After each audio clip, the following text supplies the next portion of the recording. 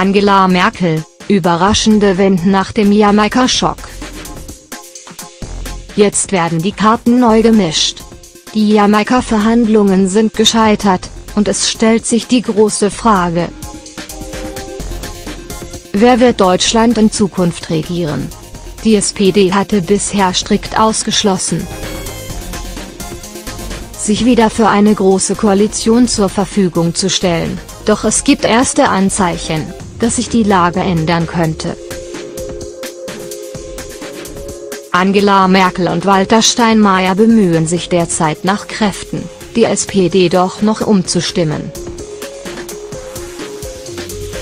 Denn, rein rechnerisch könnte eine Koalition aus SPD und CDU funktionieren, obwohl Fraktionschefin Andrea Nahles dies noch am Freitag ausschloss.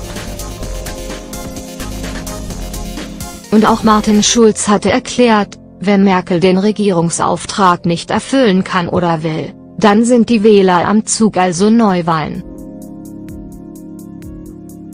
Muss Angela Merkel jetzt zurücktreten? Nun ist Jamaika jedoch offiziell gescheitert, und das könnte die Lage noch mal ändern. In der derzeitigen Situation hat die SPD die besten Voraussetzungen, um der CDU ihre Bedingungen aufzuzwingen. Vielleicht wäre dies ein Anreiz zum Umdenken, SPD-Politiker Thomas Bermann bestätigte zudem bei Markus Lanz. Dass ein Rückzug Angela Merkels die Dinge noch verändern könnte, das wäre in der Tat eine neue Situation, sagte er.